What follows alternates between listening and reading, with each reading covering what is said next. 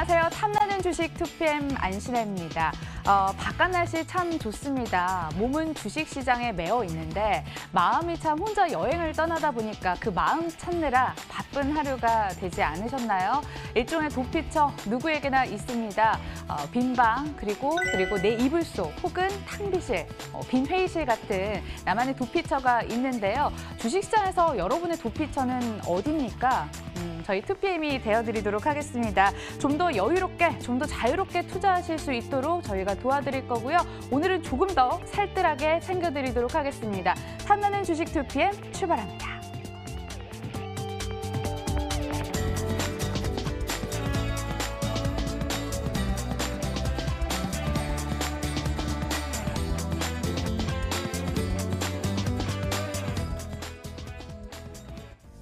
키워드 하나씩 살펴보도록 하겠습니다. 요즘 2PM에서 FOMC의 중요성 계속 강조를 하고 있습니다. 키워드를 통해서도 확인을 할 수 있습니다. 미국 FOMC에 쏠린 눈, 그리고 이 밖에도 진격의 종목이 또다시 목표가를 달성했습니다. 여러분들 오늘은 특별하게 시청자 참여로 이루어지도록 하겠습니다. 같은 종목 들고 계신 분들은 유튜브 채팅창에 종목에 대한 궁금증 남겨주시면 저희가 또 알아서 알려드리도록 하겠습니다.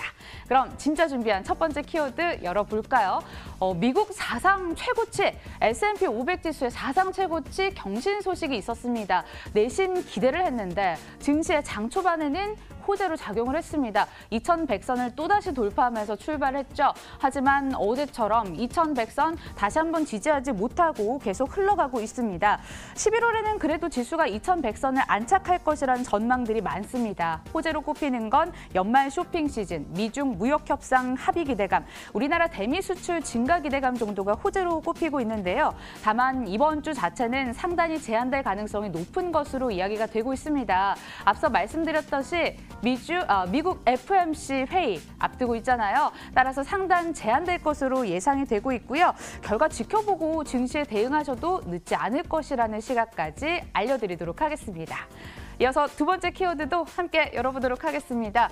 등락주의보. 여러분들 제약바이오주 요즘 등락주의보가 상당합니다. 어, 확인되지 않은 신약 임상 소식으로 인해서 등락이 상당한데 각별한 주의가 요구됨에도 불구하고 이 셀트리온이 굳건한 모습까지 연출이 되고 있습니다. 10월 들어서 단 3일을 제외하고 상승 랠리를 계속 이어가고 있는 상황입니다. 세계 무대에서도 선전을 하고 있습니다. 유럽에서 열린 소화기 내과학회에서 램시마 SC의 임상 일상 결과를 발표해서 주목을 받기도 했고 요.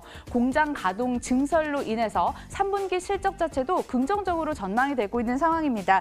성장성에 대한 믿음이 있는데 과연 어디까지 올라갈 수 있을지 셀트리온 궁금해지는데 2.49% 오름세 여전히 유지하고 있습니다.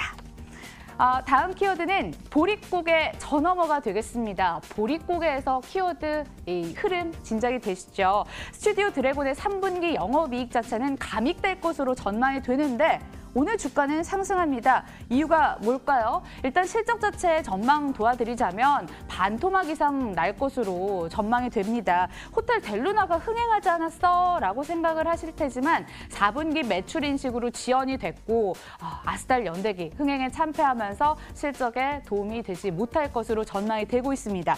하지만 우리가 주목할 것은 보릿고개 저 넘어, 저 넘어가 되겠습니다. 국내외 OTT 서비스 런칭으로 인해서 약 1년 1년 동안 의미 있는 시간이 될 것으로 전망이 되고 있는데 11월에 어, 애플 TV 플러스, 디즈니 플러스 런칭이 코앞으로 다가온 거 아시죠? 콘텐츠 업계 자체는 모멘텀이 될 것으로 전망이 되고 있습니다. 그리고 내년에는 미국 법인 설립으로 인해서 글로벌 스튜디오로 거듭날 것으로 예상되는 등 어, 당장 시장은 3분기 실적보다 4분기 그리고 내년을 주목하는 것 같습니다. 턴어라운드에 대한 기대감 가지고 우리도 한번 지금쯤 투자해야 되는 시점인지 확인해 보도록 할게요. 자, 전략 듣고 싶어서 기다렸죠. DB금융투자 압구정 금융센터 이재우 DHP 연결합니다. 안녕하세요. 안녕하십니까, 이재우입니다. 셀트리온부터 질문 드리겠습니다. 지난 네. 10월 초에 관심 있게 보자라고 말씀하셨던 기억이 납니다. 계속해서 뭐 전략의 변화는 없는지 셀트리온 전망까지 체크해 주시죠. 아, 네. 전략 변화는 있습니다. 어, 그때 이제 추천드리고 계속 올라와서 제시했던 목표가를 넘어섰죠. 뭐 그렇다면 이제 전략의 수정이 뭐 들어가는 게 뭐 당연한데 어, 목표가 도달했으니까 팔아야 되느냐, 뭐, 놔둬야 되느냐, 이제 고민이 될 수 있는 부분들이, 부분들이긴 한데, 그, 지금 이제 뭐 셀트리온을 비롯해서 바이오주들의 상세가 뭐 상당히, 아, 가파르게, 뭐 탄력적으로 뭐 진행되고 있는 그런 상황인데, 셀트리온은 어떤 신약보다는, 어, 어떤 뭐 실적에 의해서 이제 움직이는 어, 그런 종목으로 볼 수가 있겠고. 근데 이제 뭐 트럭시마 미국 판매라든가 그다음에 램시마이스시 유럽 진출에 따른 성장성을 감안하면 그리고 주가 또한 최근에 어떤 변동성이 셀트리온 같은 경우는 크지도 않고요. 그리고 막 급격하게 급등을 만들어가면서 상승하는 네, 그런 모습들이 아니어서 뭐 셀트리온은 어떤 뭐 실적에 대한 어떤 기대로 인해서 꾸준하게 우상향하는 그런 흐름을 보여주고 있거든요. 그러면은 이 종목이 이제 앞으로 유럽이라든가 미국의 어떤 그 성장 기대를 감안하면 여기서 좀 더 그 시장 참가자들은 추가 상승으로 좀 베팅을 하는 것이 아닌가 뭐 그렇게 보여져요. 어 따라서 이제 시점은 목표가를 일단 22만 5천 원으로 저는 뭐 상향을 해드립니다. 근데 그 전이나 혹은 뭐 이 가격대에 도달한다 하더라도 지금처럼 뭐 며칠 올라오고 또 작은 조정 주고 며칠 올라오고 작은 조정 준다고 하면 목표가가 다시 수정 상향이 될 수가 있는 거고요. 변동성이 급격하게 커지기 시작한다라면 그때부터는 뭐 또 다시 목표가 뭐 뭐 좀 낮춘다거나 예뭐 매매 전략을 뭐 다시 짜드려야 될 것 같습니다. 지금은 편안하게 들고 가셔도 크게 무리가 없는 뭐 그런 구간이다 그렇게 보여집니다. 목표가 22만 5천 원으로 상향 조정했는데 추후 또 변동되는 점 알려주시고요. 스튜디오 드래곤 질문 드리겠습니다. 우호적인 시장 환경에 놓여 있다라는 평가를 받고 있습니다. 게다가 글로벌 시장 진출 기대감까지 동반으로 작용하고 있는데요. 지금 진입해도 되는 시점일까요? 네, 저는 진입해도 된다라고 그렇게 보고 있습니다. 스튜디오 드래곤이 상당히 오랫동안 좀 조정을 받았죠. 그, 그 큰 원인 중에 하나가 지금 이제 아스탈 연대기 이것이 흥행에 기대를 모았는데 어, 기대에 훨씬 못 미치니까 주가에도 뭐 크게 반영을 했고요. 뭐 또 여러 가지 뭐, 뭐 시장도 안 좋은 부분들도 있었습니다만 뭐 그런 부분 차치하고 최근에 바닥을 다지고 일단 상승 시도를 하는 그런 모습들을 보여주고 있거든요. 근데 이제 아스탈 연대기, 연대기 같은 경우는 국내에서 어떤 흥행을 목표로 제작되었다기보다는 어, 글로벌 IP 진출의 포석으로 이제 그 제작된 뭐 그런 드라마이기 때문에 물론 국내에서도 흥행에 성공했다 그러면은 뭐 주가에는 좋았겠죠. 뭐 어, 성공했다 그러면 주가가 이렇게 빠지지도 않았을 거고요. 근데 어쨌든 이제 아스탈 연대기가 해외 쪽으로 뭐 진출하고 이것이 이제 스튜디오 드래곤의 어, 해외 진출의 모멘텀으로 작동할 것이라는 기대감은 어, 주가 상승을 만들어낼 수 있는 에, 그런 동력이 되지 않겠나 그렇게 이제 보여지고 있습니다. 지금 뭐 그동안 주가도 많이 빠져가지고 이런 가격적인 메리트와 더불어서 어, 절대적으로 장기간의 이제 주가 조정과 횡보 구간을 통해서 물량 부담도 상당히 가벼워졌다라는 측면을 감안한다면 스튜디오 드래곤은 조정 시 매수 관점으로 접근하는 것이 맞겠다. 네, 그런 말씀드립니다. 네, 매매 전략까지 챙겨 들어봤습니다. 다시 한번 키워드로 접근을 해볼게요. 어, 안녕 캐리 언니예요. 네. 어, 요즘 아이들에게 3대 그 어린이 대통령이 있습니다. 도티, 그리고 캐리 언니, 아, 마지막으로 아기 상어까지. 캐리 언니와 장난감이라는 콘텐츠를 만드는 캐리 소프트가 오늘 주식시장에 상장이 됐습니다. IPO 재수 끝에 다시 한번 화려한 신고식을 치른 건데요. 공모가 9천 원을 훨씬 넘어서 장중에는 26%까지 급등하게 됐고 여전히 강세 흐름 연출합니다. 어, 밀어 올리면서 14,900원에 거래가 되고 있습니다. 아시아의 디즈니를 꿈 꿈꾼다는 야심찬 포부처럼 텐센트에 이미 진출을 했고 중국 스마트폰 1위 시장이라는 화웨이의 기본 컨텐츠로 탑재되어 있는 캐리 소프트가 되겠습니다. 키즈 시장이 워낙 성장세가 가파라서 앞으로 실적 성장세도 가속화될 것이란 전망도 따라 붙고 있는데요. 주가가 워낙 급등락이 심해요. 따라서 신규 상장주는 어떻게 접근하시는 게 좋은 건지 다시 한번 실장님께 여쭤보도록 하겠습니다. 어, 실장님. 네. 캐리소프트가 신규주라 투자 시 네. 유의점이나 변수 있을 것 같은데 짚어주세요. 그 사실 신규 상장주 이제 오늘 상장을 했죠. 신규 상장주를 매매 관점으로 접근한다면 굉장히 어렵죠.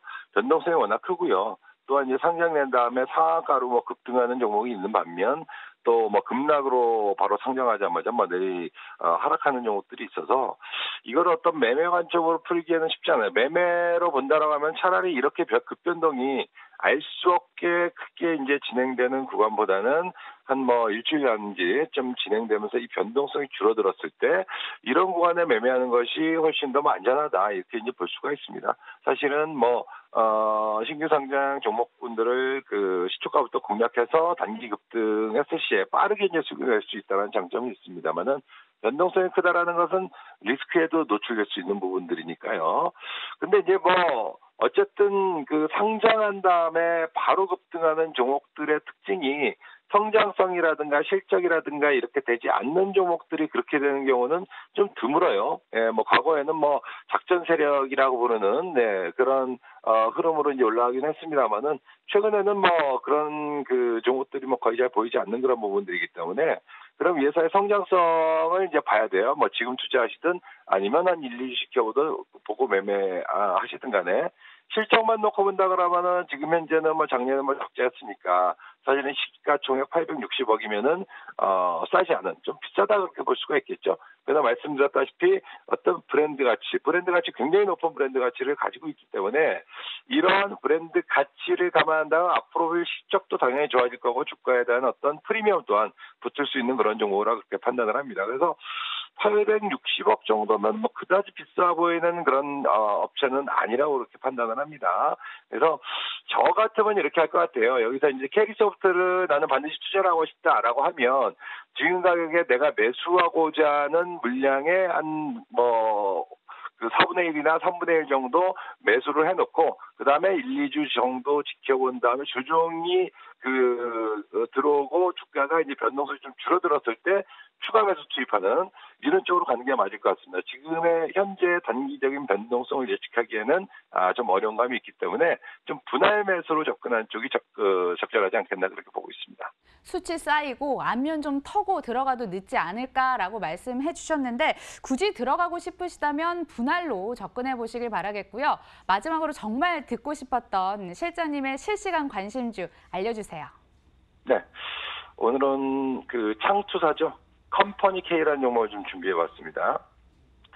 이 창투사 같은 경우 특히나 최근에 장세가 이렇게 이제 올라오게 되면 뭐 창투사야 여러 가지 이제 유망한 업체에 뭐 투자하는 그런 어, 회사들이기 때문에 뭐 당연히 뭐 실적도 좋아지고 성과도 좋아질 수밖에 없겠죠.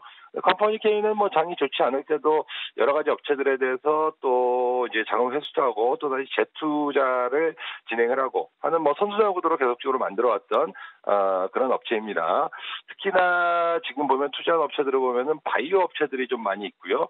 그 다음에 ICT 분야, 예, 이쪽에 가장 바이오와 ICT 분야에 가장 많은 투자를 했어요. 그렇게 본다 그러면은 지금 장세도 좋은 상황이고 또한 연말 연초라고 한다 그러면은 바이오, ICT 이쪽은 좀 유망한 섹터로 이제 분류가 될 수가 있기 때문에 컴퍼니 K도 그동안에 상장한 이후에 어, 가격 조정과 기한 조정을 통해서 메리트도 충분히 있다라고 그렇게 판단을 합니다. 그리고 지금 이제 브릿지 바이오가 연내 잘하면은 뭐 12월 내에 상장할 수 있 다는 뭐 기대감도 뭐 실을 수 있을 거라고 그 보여주고 있습니다. 최근에 이제 바이오주가 상당히 강세를 띠고 있기 때문에 그렇다라면은 그 컴퍼니 K의 단기적인 상승 모멘텀은 이 이미 기존에 투자했던 그 상장된 바이오 업체라든가 그리고 브릿지 바이오의 어떤 상장에 아, 좀 연동될 가능성이 있지 않겠나 뭐 싶어서 어 컴퍼니 K를 그 목표가 12,000원 정도 제시하고요. 손절가 7,500원으로 말씀드리면서 오늘 관심주 소개해드립니다. 네, 오늘장 관심 주는 컴퍼니 K였습니다. 포트폴리오 인 한번 고려해 보시고요. 지금까지 압구정 금융센터 DB금융투자 이재우 DHP 함께했습니다. 고맙습니다. 감사합니다.